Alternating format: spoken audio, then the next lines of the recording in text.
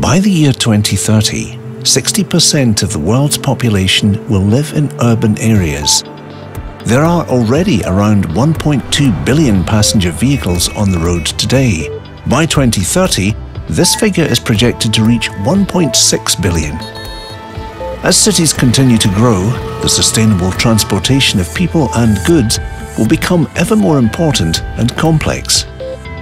For many of today's city dwellers, mobility means stress, congestion and delays.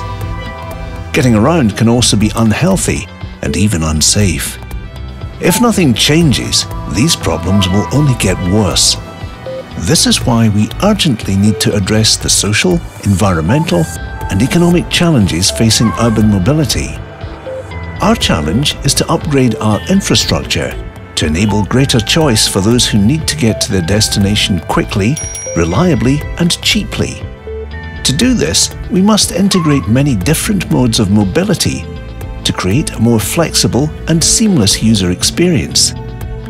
So, what could this future of urban mobility look like?